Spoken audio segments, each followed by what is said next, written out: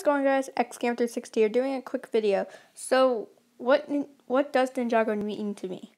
Was that I actually wasn't into Lego that much, so then Ninjago got me into Lego so much to the point where I got like a hundred dollar sets.